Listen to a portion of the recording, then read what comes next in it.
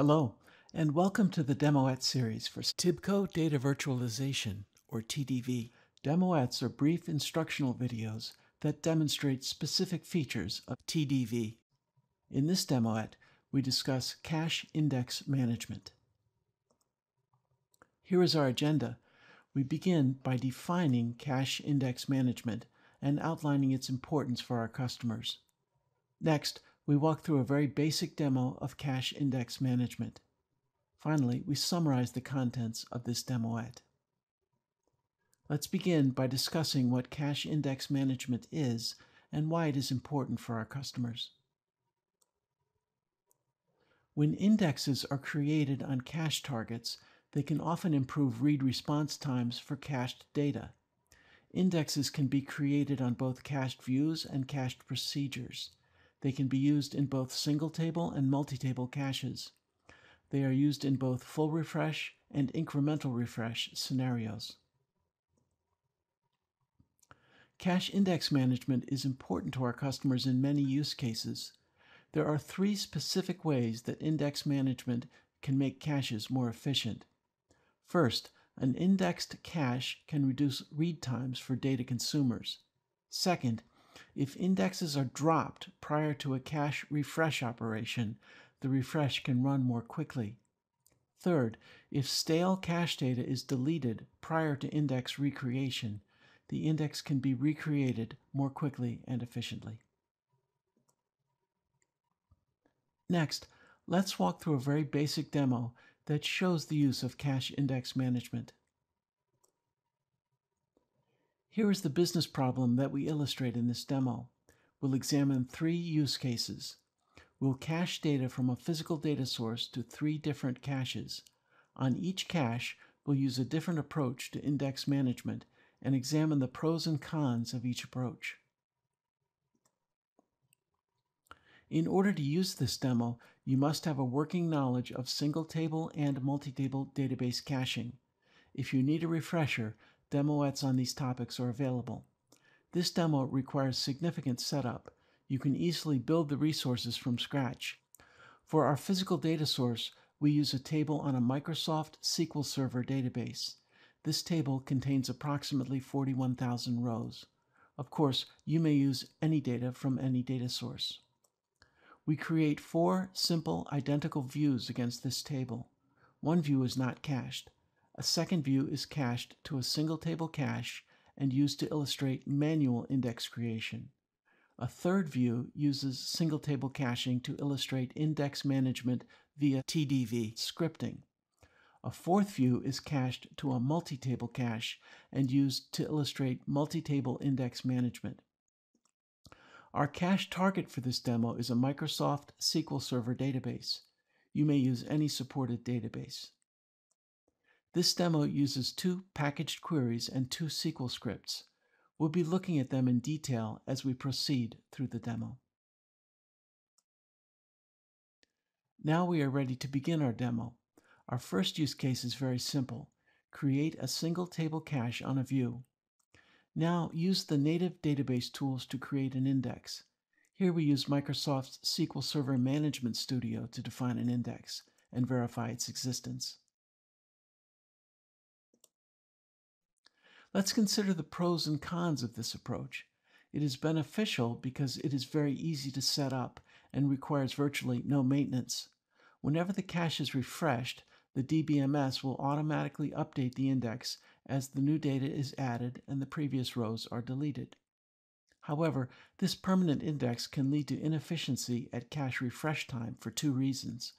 First, the index must be updated in real time as new rows are added. This can slow down the cache refresh process. Second, remember that rows from the previous cache contents are not deleted until the new cache data is loaded and all transactions using the old data are complete. That means that the index must also update itself as the old rows are deleted, which can also lead to inefficiency and higher resource usage on the DBMS. For these reasons, manual index management is most appropriate when caches are fairly small and when ease of use trumps high performance. Now let's look at our second use case, single table caching with index management scripts. To begin, create a single table cache. Just as before, we are using SQL Server as our cache target. Before we look at the scripting, let's get a baseline cache running. Load the cache and make sure it is up. Now we'll use SQL Server Management Studio to do a one-time creation of the index. The column I want to index in this view is named PK. Notice though that I must also use the cache key column as part of my index. In single table caching, the cache key column is used to distinguish between rows from the current and previous cache refresh operations. If I omit the cache key column, I'll lose the efficiency of the index because TDV prepends the correct cache key to every read request. Now that the basic single table cache is working, we can think about managing indexes with scripts. My goal is to drop the index prior to a cache refresh, and then recreate the index after the cache refresh completes. These two operations are shown here in TDV packaged queries. Packaged queries must return a result set, so we create a dummy result set for each. This creates a problem for automatic single table indexing, however. The pre and post refresh scripts we use for single table caching must not return any data. To solve this problem, we simply wrap the packaged queries in SQL scripts that don't return any data. Now we add the scripts on the advanced panel of the cached view. When the view is subsequently refreshed, the pre-refreshed script will execute first, dropping the index on the cache table. Next, the cache refreshes. This refresh should run more quickly than before because there is no index to be updated as new rows are added. When the refresh operation is complete, the post-refresh script runs. This script creates the index, which can now be built without any impact on the data load.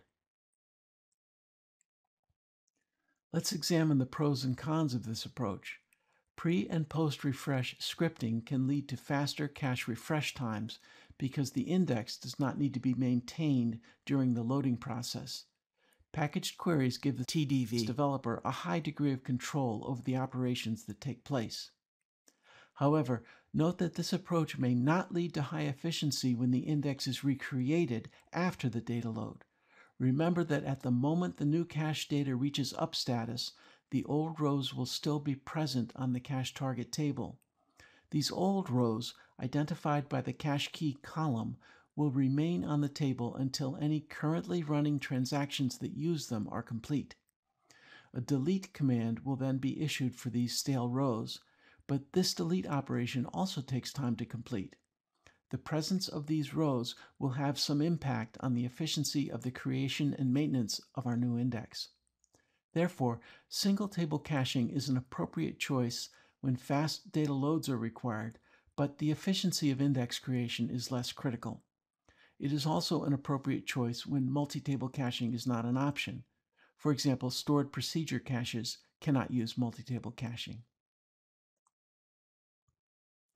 Finally, let's look at indexing for multi-table caches. For the vast majority of use cases, multi-table caching is the best approach to use when indexing is desired. Before setting up the cache, go to the Indexes tab on the view and define an index. Since multi-table indexing does not use a cache key column, we simply define the index using the column or columns we need from the view. Now go to the Caching tab and set up multi-table caching. Make sure the option to drop and recreate indexes is checked. Now simply load the cache as usual. No scripting is necessary.